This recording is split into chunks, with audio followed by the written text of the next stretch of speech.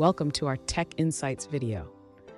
Today we're tackling a question that many .NET developers encounter. Our viewer is working with a .NET 4.6.1 setup and has successfully integrated application insights to monitor SQL dependencies.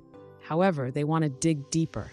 They're looking to view the actual SQL commands being executed, rather than just seeing the fully qualified domain name of the SQL server. This information is crucial for identifying performance bottlenecks and optimizing queries. Let's explore how we can help them achieve this.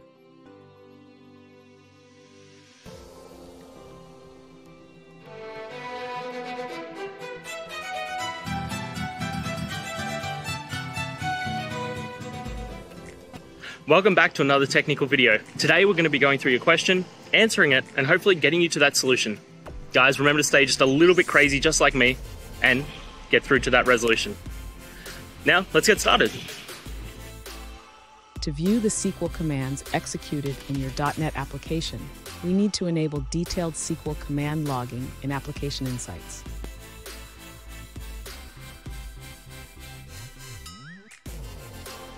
Next, you will need to modify your Application Insights configuration in your .NET application. Locate the Application Insights.config file.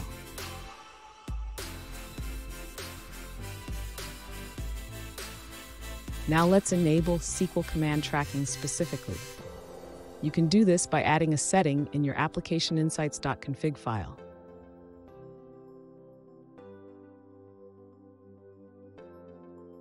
After making these changes, rebuild your application and deploy it.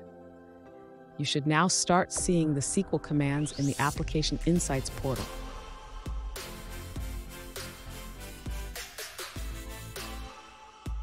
Finally, to analyze the performance, navigate to the Performance section in Application Insights.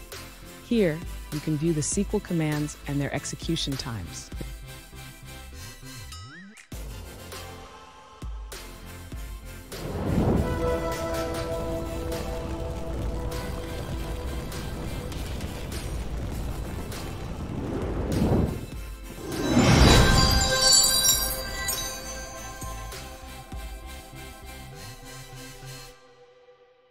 Let's now look at a user-suggested answer.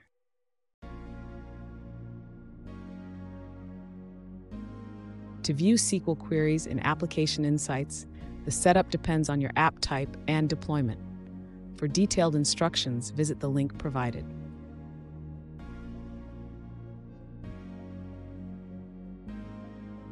Application Insights automatically collects partial dependency information. To gather complete data, you need to install the appropriate agent for your host server.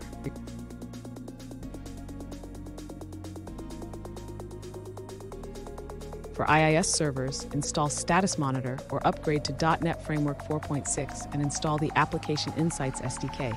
For Azure Web Apps, use the Application Insights Blade to install. For Azure Cloud Services, use a startup task or install .NET Framework 4.6 or later.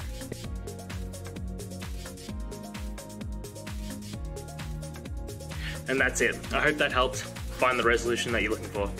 If it did, please hit subscribe. I really appreciate it. And until next time, I hope you have a good one. Cheers.